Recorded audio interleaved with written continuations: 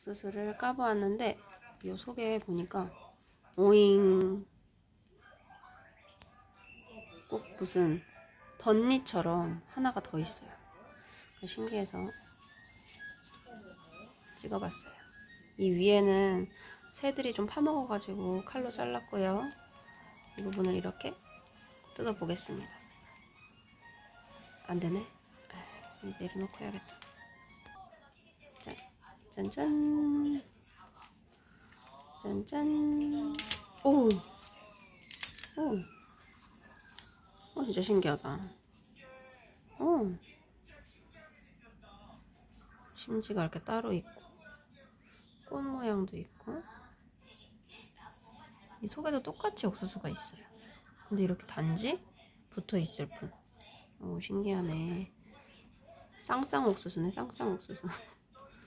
그 이런 거는 모양이 안 예뻐서 알갱이를 따서 나중에 옥수수 밥 할 때 넣으려고요. 나중에 만나요.